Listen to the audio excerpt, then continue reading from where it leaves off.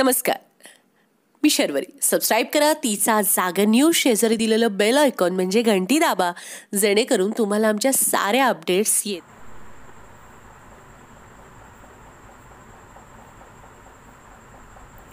सांगली महापालिका क्षेत्रात शुक्रवारी दोनशे नऊ नवे कोरोना पॉझिटिव्ह दिवसभरात शहाऐंशी व्यक्ती होम आयसोलेशनमध्ये अकराशे अठ्ठेचाळीस ॲक्टिव्ह रुग्ण.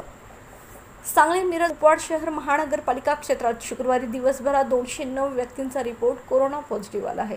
तर दिवसभरात शहाऐंशी व्यक्ती होम आयसोलेशनमध्ये उपचार घेत आहेत. मनपा क्षेत्रात सोळा एप्रिल दोन हजार एकवीस अखेर एकूण अकराशे अठ्ठेचाळीस ॲक्टिव्ह रुग्ण असून त्यापैकी एकशे एक हजार त्रेचाळीस व्यक्ती या होम आयसोलेशनमध्ये तर उर्वरित वेगवेगळ्या कोविड रुग्णालयात उपचार घेत आहेत.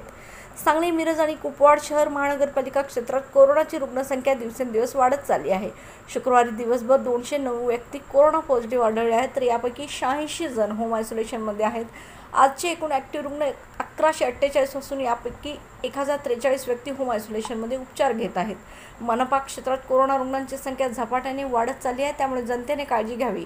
कोणा कोरोनाला रिपीट कोणाला कोरोना सदृश लक्षणे असतील तर त्यांनी तातडीने आपली तपासणी करून घ्यावी. तसेच लक्षणे नस असणाऱ्यांनी आपली कोरोना चाचणी करून योग्य वेळी आपले निदान करून उपचार घ्यावेत असे आवाहनही मनपा आयुक्त नितीन कापडनीस यांनी केले आहे.